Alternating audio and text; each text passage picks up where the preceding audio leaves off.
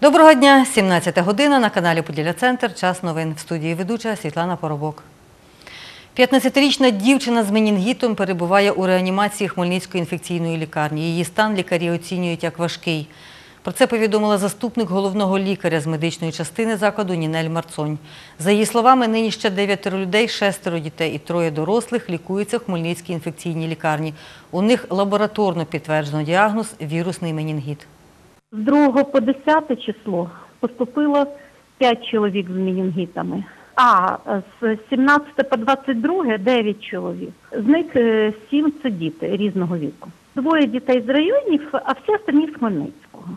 Просто хтось був на морі, хтось був на водоймах. В декотрих це гнійний менінгіт як ускладнення. Але якщо менінгіт так поступає приблизно, щоб сказати, ну що один раз на 10 днів, от є менінгіт там різної етіології то тут ми помітили, що їх більше. Зараз в нас дітей 6 чоловік, вони переведені в відділення, а в реанімації залишилася дівчинка, важка вона. Як повідомила Нінель Марцунь, за 9 місяців минулого року до Хмельницької інфекційної лікарні ушпитали 20 хворих на менінгіт. Невідомою залишається причина пожежі, що сталося 25 серпня на Хмельницькому ринку Дарсон на вулиці Львівське шосе. Розповів керівник прес-центру Державної служби з надзвичайних ситуацій України в Хмельницькій області Андрій Козак.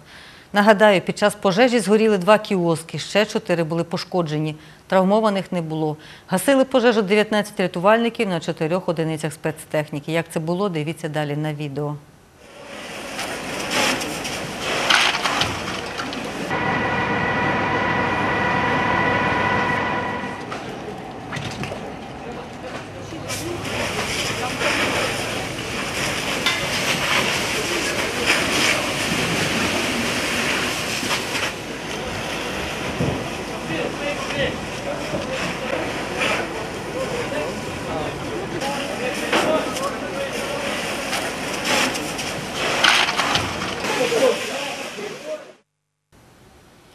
Цієї осені планують завершити облаштування площі Свободи в Хмельницькому. Інженерні роботи на території площі закінчені, розповів начальник міського управління житлово-комунального господарства Василь Новачок.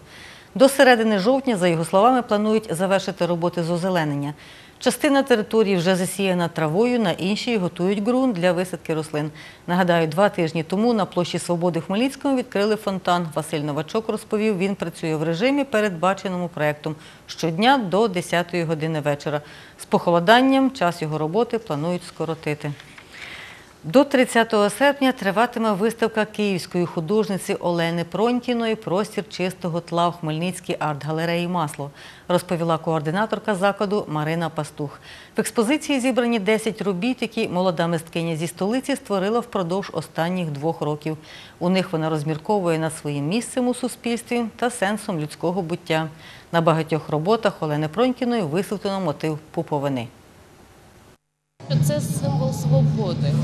Е, Коли ми звільняємось від цієї куповини, і, і е, ми просто знаходимо свій власний сенс для самостійного, е, е, ну як би так, досвіду цього життя. Що мене завжди надихає до створення робіт саме життя.